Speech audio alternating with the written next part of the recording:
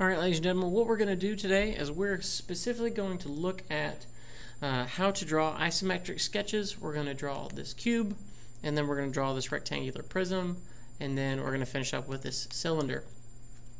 In order to do a good isometric sketch, what you need first is you need a pencil and a pen. Now, what I'm going to do specifically is I'm going to uh, use a Sharpie to do some of my sketches just so that it shows up on this paper nice and clear. However, uh, I recommend you do this with a pencil first and then come back with your heavy lines with a pen or a fine tip marker. For now, just making sure that we can see this, I'm going to lightly sketch them or the best I can um, using thin lines with the Sharpie and then coming in and make those lines thicker later on. We'll see how this goes. So the first thing we're going to do is talk about isometric sketches. So before we get started on this too much, I want you to have read activity 121 or understand what isometric sketches are. Um, that way when I start talking about front, right, and top, you know what I'm looking for um, and we're not necessarily too concerned about my vocab. So let's go ahead and get started. The first thing we're going to do is we're going to look at this center point right here, the very point, first point between my front, right, and top where that corner is at. And we're going to use isometric paper, so we're going to put a single dot where this corner is at.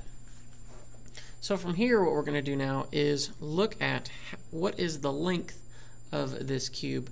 Now I've already measured the, this length of this cube to be uh, one inch, and the spacing on this uh, this graph right here, this paper I have, is a half a quarter inch mark. So one triangle here is a quarter inch in length.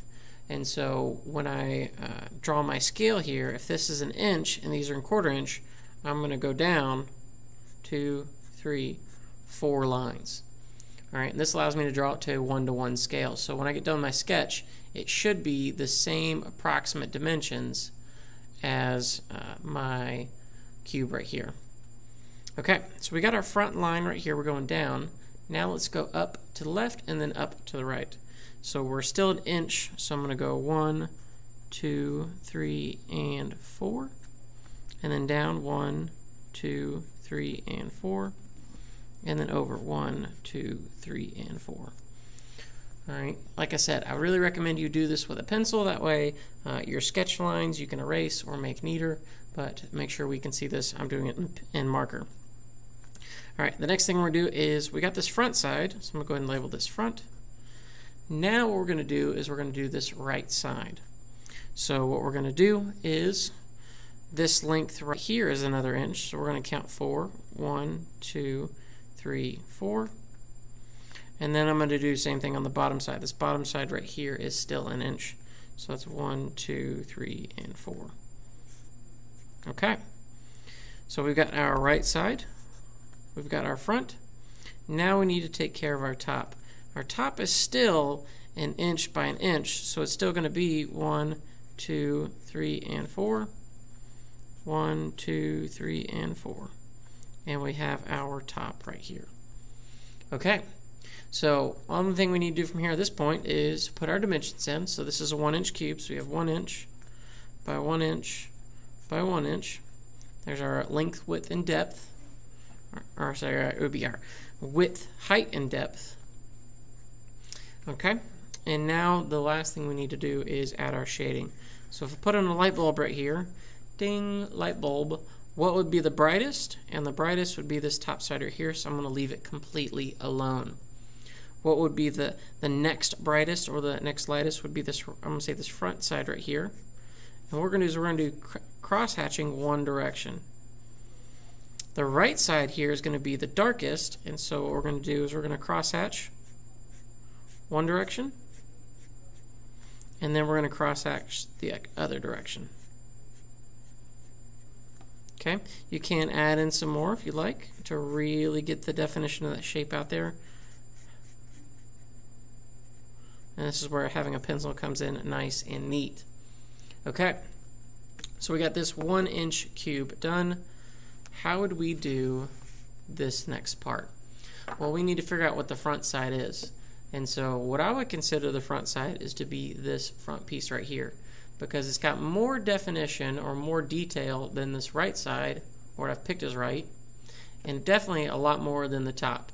So what I've done is I've chosen this is the front, this is the right, and this is the top. You could make the argument that you could do front, right, top here, but for this one right here, I'm just going to do front, right, and top. Okay, I've already measured this one. This is two and a quarter inches down. So if we're going to use two and a quarter inches down, we're going to measure down 9 squares. So one, two, three, four. That's 1 inch. One, two, three, and 4. There's 2 inches. And a quarter inch. Our depth here is going to be, this is half an inch. Half an inch. And there we go. We already have our right side finished. Let's now go to our left side. Our left side has a top dimension up here for 1 inch. So it's going to be 4. 1, 2, 3, 4. 1, 2, 3, and 4. There we go. So we got our front, we got our right. Now let's do our top. All we're going to do is finish out the lines. Same thing we did before, let's add some shading. And so this top is going to be the brightest. The front side is going to have some cross hatching. And then the right side is going to be the darkest.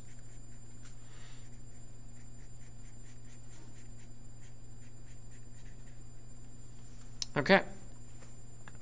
How do we then take this and do an odd shape like this, like a cylinder?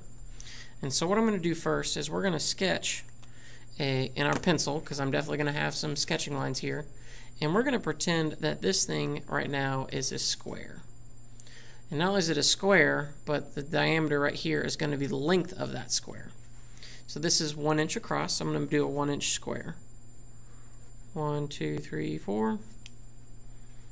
One, two, three, four. So what I've gotten here is a one inch square. The length is the same length as here, so it's down 9. So 1, 2, 3, 4, 5, 6, 7, 8, 9. 1, 2, 3, 4. 1, 2, 3, 4.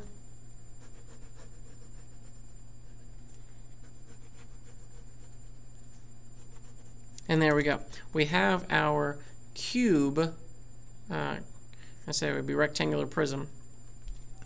We now need to shave off the edges to round it out. So what I know is that this is going to cut through the middle right here. It's going to do the same thing in the other direction as well. So what I know is that my the circle of my cylinder is going to touch those four points. And if we just draw a circle, it's going to look wrong. So what we're going to do is we're going to draw an ellipse by connecting these curves.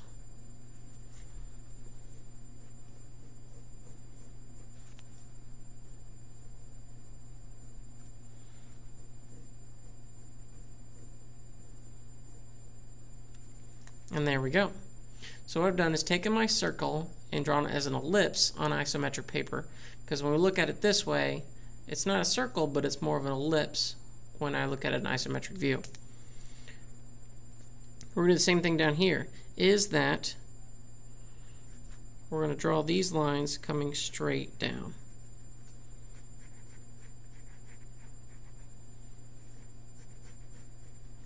And where these touch is where we're going to draw our bottom view at. And we're going to round this out the bottom the best we can. The curvature up here should match the curvature down below.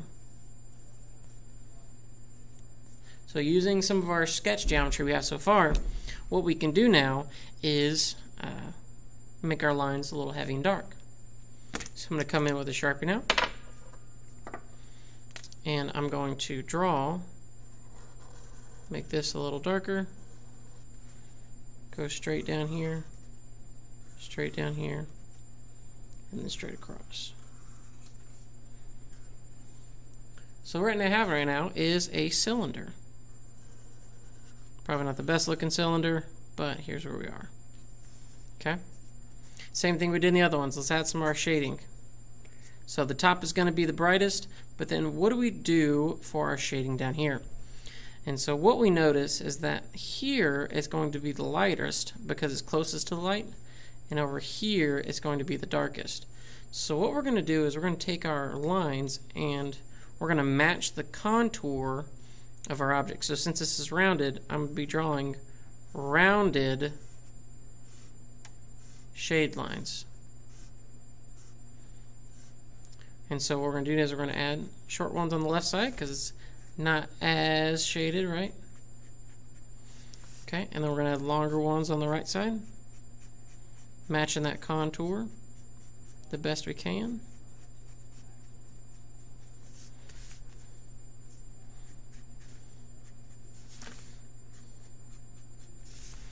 Rounding that whole object out. Now this doesn't need to be perfect, but the contour allows us to see that this is a rounded object. Okay, so ladies and gentlemen, there you go. That's how to draw a cube, a rectangular prism, and a cylinder all in isometric sketch.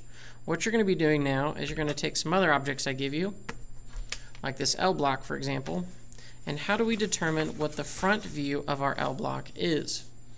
Well, if we look at our L block, we want to be there's no hidden lines in our front, right, and top views. So what I've seen some people do is they hold it this way and they call this the front. The front view looks good. The top view would have no hidden lines. However, when I turn this to the right view, there's some hidden lines back here. I can't see what's going on. So this isn't going to work. However, what if we did this? We have the front, this would be the right, and this would be the top. Hey, that looks like it works. There's no hidden lines. The front view shows most detail. Could we also do something like this? Here's our front. Here's our right. And then here's our top view. And I would recommend this as being the most just because uh, maybe personal preference. I find this to be a little bit more, uh, I would say, understanding and pleasing than this would be. Okay, so we got the L block, and going to be the first one you're to try in your activity today. As you go on and you get more complicated, you're going to introduce hidden lines. And what do we do for hidden lines? So using this window block. What about doing on these pieces as well? And then your rounded column. Okay, guys, if you have any questions, let me know. And until then, I'll see you on the next video.